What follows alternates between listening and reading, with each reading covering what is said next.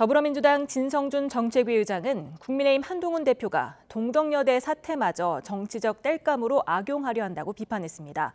진 의장은 폭력을 두둔할 생각은 없지만 주동자의 법적 책임을 운운하며 학생들을 비난한 한 대표의 주장은 본말을 뒤집은 거라며 이같이 말했습니다.